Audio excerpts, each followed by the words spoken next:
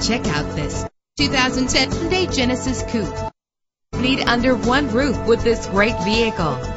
Low mileage is an important factor in your purchase, and this vehicle delivers a low odometer reading with a solid six-cylinder engine connected to a smooth shifting automatic transmission. GPS navigation will guide you to your destination. You will appreciate the safety feature of anti-lock brakes. Heated seats offer comfort in cold weather. Let the outside in with a built-in sunroof. And for your peace of mind, the following safety equipment is included. Our website offers more information on all of our vehicles. Call us today to start test driving.